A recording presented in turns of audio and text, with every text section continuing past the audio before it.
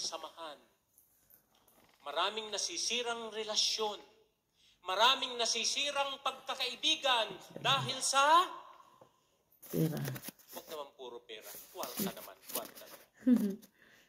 Praise the Lord. At yan ay totoo. Hindi pera, kwarta.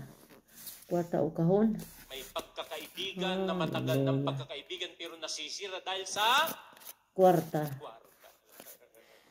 Pareho lang yung Brad. Kwarta tsaka pera. And that's true. Isa lang yun eh. Kasi marami ng taong mukhang Kwarta. yun Mhm. ang mundo natin ngayon. Mukhang eh. kwarta. Mukhang Ang pera. mundo natin ngayon. eh. Ay na may balita. Hallelujah. Nagplaslong kanina. Former President Trump ay kinasuhan at idinimanda because of Kita nyo yung mga ma- matataas na tao pa yan. Much more.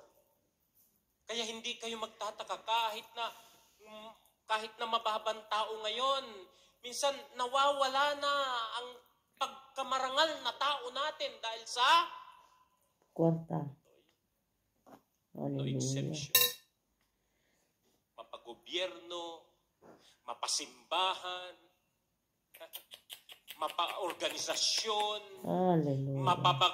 Mapapagtahanan, minsan may nag-aaway-away dahil sa Kwarta.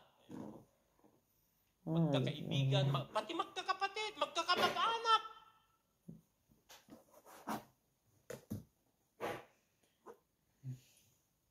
Yan ang takbo ng mundo natin ngayon. Hindi na mahalaga ang ugnayan.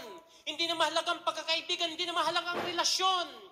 Wala nang pagpapahalaga roon ngayon. Ang mahalaga, Kwarta.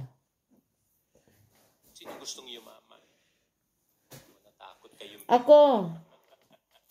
Ako po, Brad. Gusto kong Yung palang yumaman. panakot, ano ba? Pag inuna kong tanong yun, lahat kayo magtataas yan, no? Yeah. At least ngayon, natakot kayo ng kaunti, ano? Hallelujah. Baka mapagkamala kayo mukhang Kwarta. coins. Mukhang po. Nagsimula ang paghihirap ni Jesus dahil ipinagbili siya ng kanyang kaibigan.